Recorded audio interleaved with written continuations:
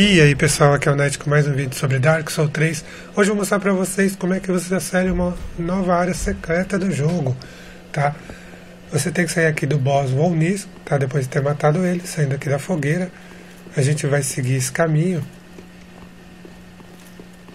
Tá, vamos lá Chegando aqui na ponte, é só você derrubar a ponte, tá? Batendo aí nas cordas Você não precisa fazer o que eu fiz aqui, tá? Ficar em cima da ponte, aí você acaba caindo e perdendo HP. É só você ficar um pouquinho antes da ponte, quando você derrubar ela, vai ter uma escada para você descer na própria ponte, tá? Chegando aqui, estamos no Lago de Fogo.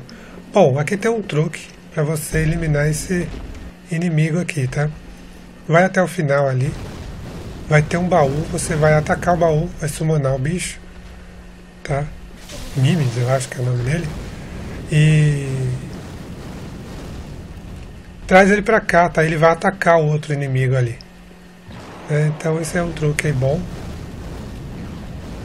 Porque ele dá muito dano, então ele já te ajuda na luta aí contra o demônio lá embaixo, né? Ó, já tirou 50% de HP ali, você vai e finaliza agora.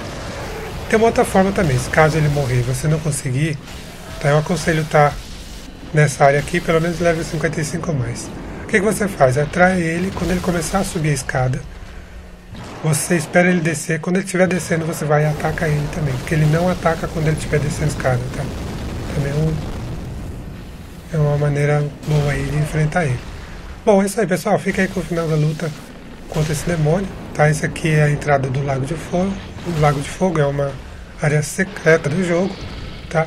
Se você curtiu o vídeo aí, deixa seu like, seu favorito. E em breve, pessoal, vou estar trazendo aí algum vídeo de Lineage 2. Mas vão ver como é que tá o Lineage.